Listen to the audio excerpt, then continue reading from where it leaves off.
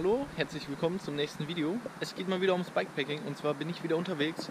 Es ist Samstag, der 15.09. Eigentlich war dafür meine Nordseetour geplant, aber wie es eigentlich fast immer ist bei irgendwelchen Gruppentreffen, es haben noch vier Leute kurzfristig abgesagt.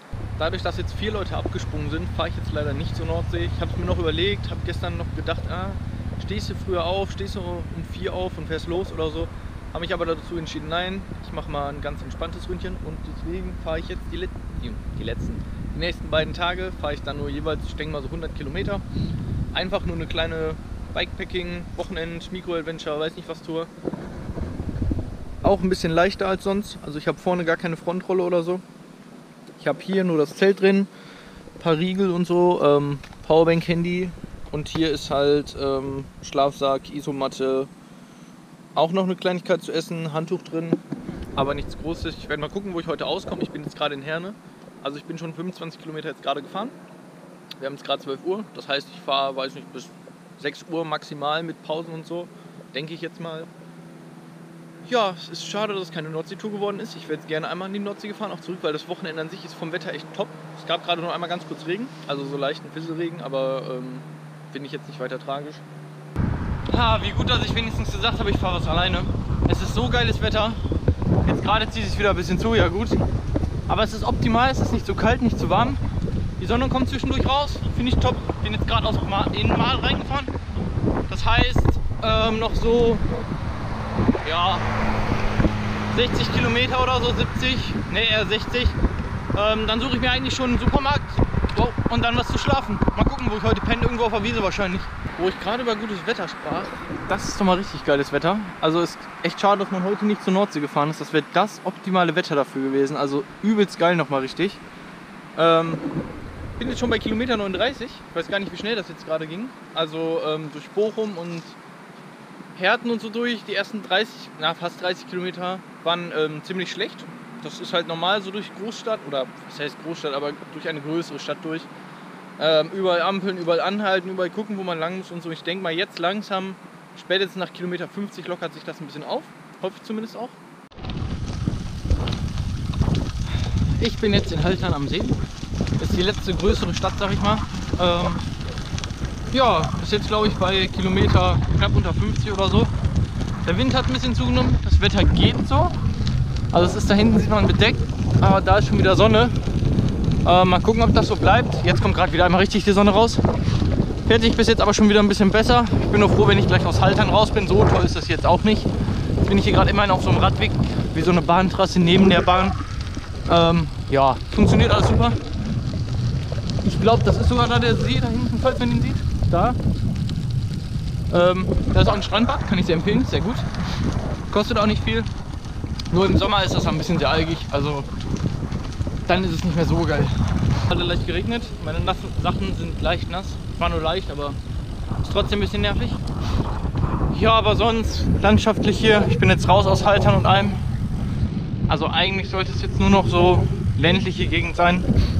Ähm, ja, ich fahre jetzt irgendwie noch ein Stündchen. Dann gucke ich mal, dass ich was zu essen finde. Und dann kann ich mir schon einen Schlafplatz theoretisch suchen. Ähm, sollte ich zumindest demnächst. Hier so ein Feld wäre auch schon geil. Muss man aufpassen mit dem Jägersitz, dass man da möglichst nah dran ist, wenn. Weil wenn da ein Jägersitz ist, sollte man nicht auf dem Feld zelten. Nachher kriegt man doch noch irgendwie was ab oder kriegt Anschluss oder so. Naja, bis jetzt, wie gesagt, es geht eigentlich ganz gut.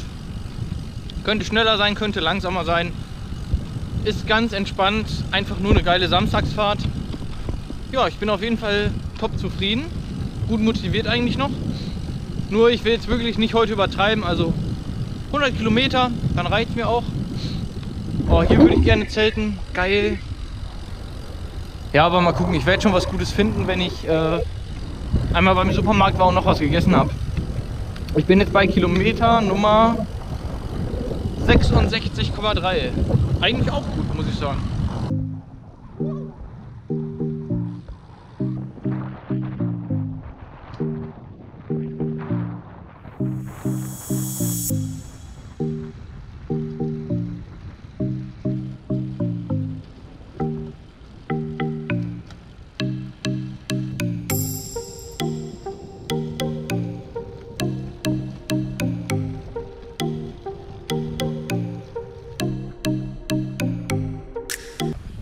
Schon echt eine geile Aussicht da jetzt.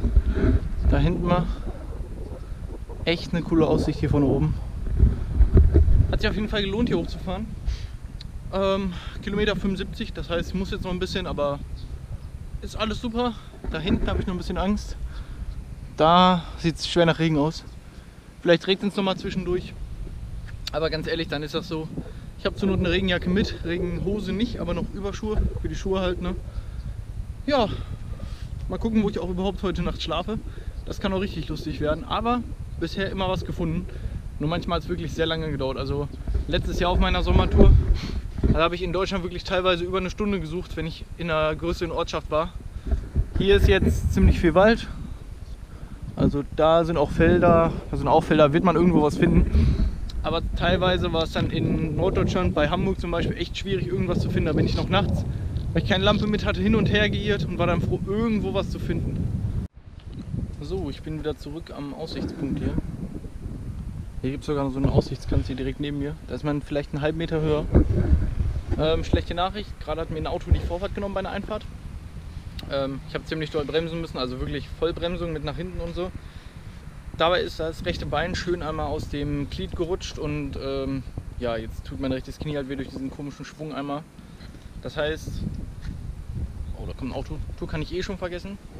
Ich fahre jetzt gerade wieder Richtung nach Hause, ähm, dass ich dann morgen nicht so viel fahren muss. Also das heißt, ich fahre jetzt eine Stunde nach Hause, dann habe ich morgen noch so 60 Kilometer, glaube ich, ungefähr vor mir. Ähm, ja, Tour endet quasi theoretisch oder ist, ist viel kürzer als gedacht. Ich hoffe, dass das morgen mit dem Knie geht. Jetzt gerade ist nicht so schön, ich trete mehr mit dem linken Bein als mit dem rechten. Ja, hat einem halt die Vorfahrt genommen. Was will man da machen? Ist halt ziemlich unglücklich. Jetzt kann man quasi fast schon froh sein, dass nicht auf der ähm, Nordseetour passiert ist. Das wäre natürlich mehr schle oder schlechter gewesen. Aber ist trotzdem kacke.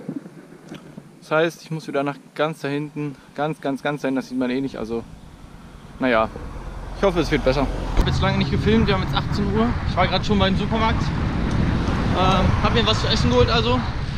Und so wie es aussieht, mein Knie wird gerade immer schlimmer. Ich probiere nach Hause zu kommen. Das sind jetzt noch 60 Kilometer.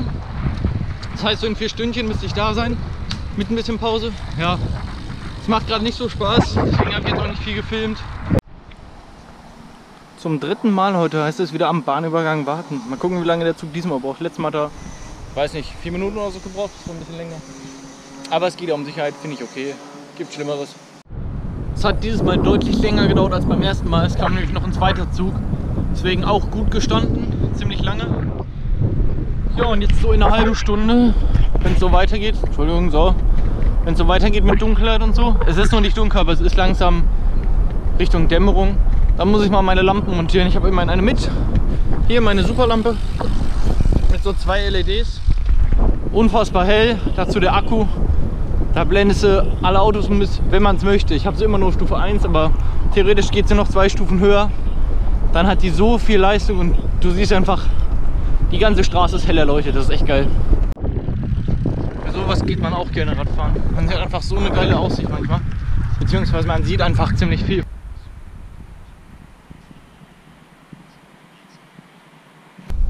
muss sagen, jetzt wird es direkt ganz schön frisch.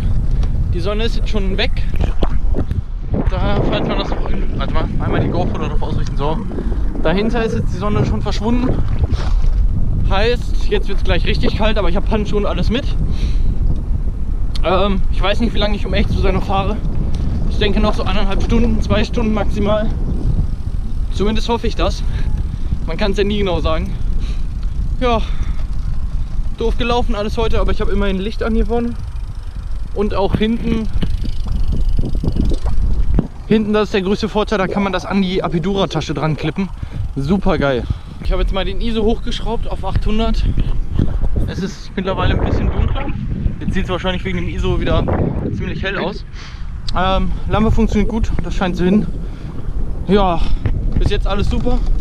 Jetzt kommen gleich nur wieder ein paar Wege, wo ich nicht mehr die richtige Strecke weiß. Deswegen muss ich gleich mal gucken. Das ist übrigens der Nachtmodus vom Garmin, auch sehr praktisch. Es ist 21 Uhr gleich. Ähm, Fahrradlampe, alles gut. Sind jetzt noch, glaube ich, 15 Kilometer vielleicht. Dann sollte ich auch zu Hause sein.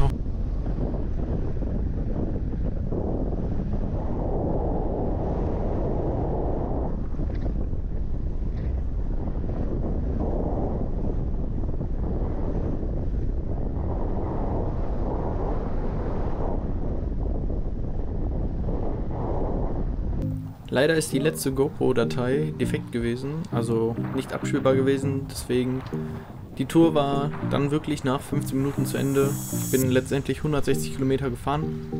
Ich habe die Fahrt leider noch nicht auf Strava hochgeladen, weil ich mein Kabel für den Garmin noch nicht gefunden habe. Ja, Tour ist anders gelaufen als gedacht auf jeden Fall. Ich dachte eigentlich zwei Tage, a 100 Kilometer und jetzt wurde es ein Tag mit 160 Kilometern. Mit Gepäck einfach. Das Gepäck hätte ich ja in dem Sinne gar nicht gebraucht. War auf jeden Fall nicht so gut, dem Knie geht es mittlerweile wieder besser. Nächste Tour kann kommen und danke fürs Zuschauen. Bis dann.